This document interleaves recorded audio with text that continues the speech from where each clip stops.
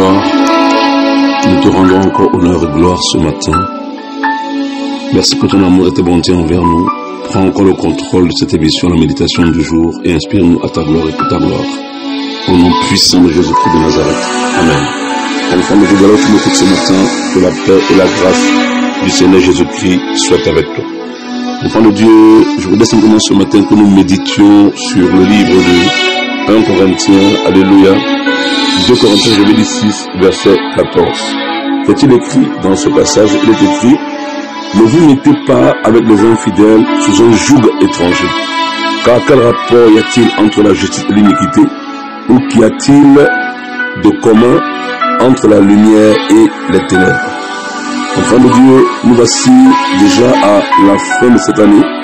Et nous savons que selon la coutume euh, du monde, c'est des moments où beaucoup vont célébrer euh, la nouvelle année.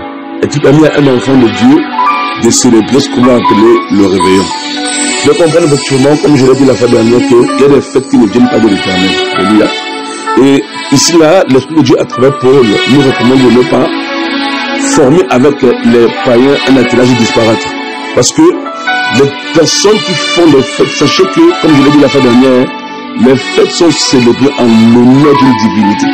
Même si les personnes sont ignorantes que le fait qu'elles célèbrent une fête vont en l'honneur d'une divinité, elles ont quand même honneur à une divinité. Alors nous avons vu qu'il y a les fêtes de l'éternel, qui sont d'abord des fêtes spirituelles. Avant de dire, il est très clair qu'en ce temps de la femme, nous devons vraiment être prudents. Alléluia. En tant qu'enfant de Dieu, Dieu nous demande de ne pas nous associer à ce que font les païens. L'apôtre Jacques aussi va très bien nous le dire. Alléluia. Il dit bien que l'amour du monde est inimitié à l'amour de Dieu. Et si quelqu'un, n'est-ce pas, aime le monde, il sera ennemi de Dieu. Or, célébrer les fêtes du monde, c'est simplement Jacques 4, verset 4. Adultère que vous êtes, ne savez pas que l'amour du monde est inimitié contre Dieu? Celui qui veut être ami du monde sera ennemi de Dieu. On ne peut pas participer à ces choses. Parce qu'en participant à ces choses, on sera ami du monde. On n'attend pas une fête, un dernier jour de l'année parce qu'on on, arrive l'année suivante pour aller manger, pour aller euh, euh, s'enjoyer. Non, enfant de Dieu.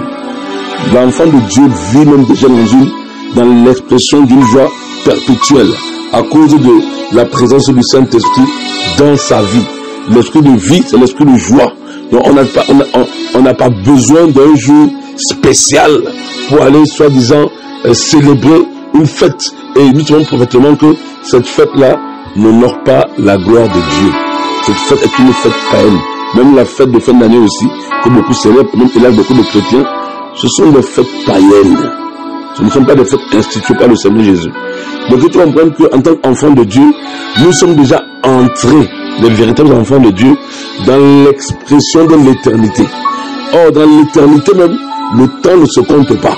Parce que de Melchisedec, il a dit, il y a ni commencement de jour, ni fin de vie. Donc, chaque jour que nous vivons est une occasion pour nous encore de célébrer le Seigneur, de le rendre grâce pour toutes ses bontés, toutes ses merveilles envers nous. Chaque jour, d'ailleurs Jésus va le dire dans le livre de Matthieu 6, à partir de verset 33, à chaque jour suffit sa peine. Donc pour nous, la célébration divine, c'est une affaire de quotidien, c'est une affaire de chaque instant, c'est une affaire de chaque moment. On n'atteint pas un dernier jour de l'année parce que soi-disant on va entrer dans l'année suivante pour pouvoir commencer à rentrer dans des célébrités qui ne sont pas du tout à la gloire de Dieu. Toi qui m'écoutes ce, euh, ce matin ou ce, ce matin, je vais dire voilà, donc sache que tu ne peux pas participer à cette chose.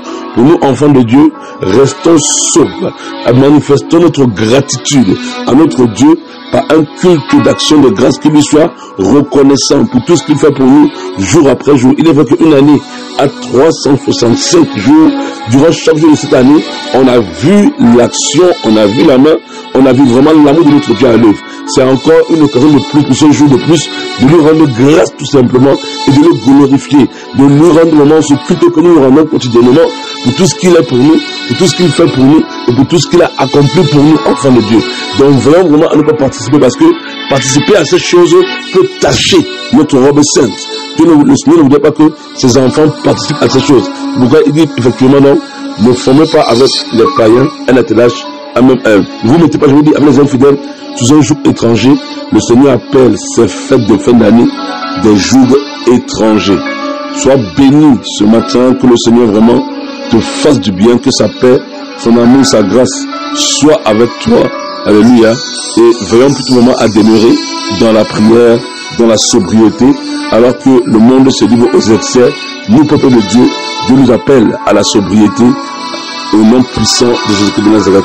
Père et grâce du Seigneur Jésus-Christ de Nazareth son peuple, sur ses enfants dans le monde entier, dans le glorieux et le puissant nom de Jésus-Christ de Nazareth. Amen, Amen, Amen. Sois béni ce matin dans le puissant nom de Jésus-Christ de Nazareth.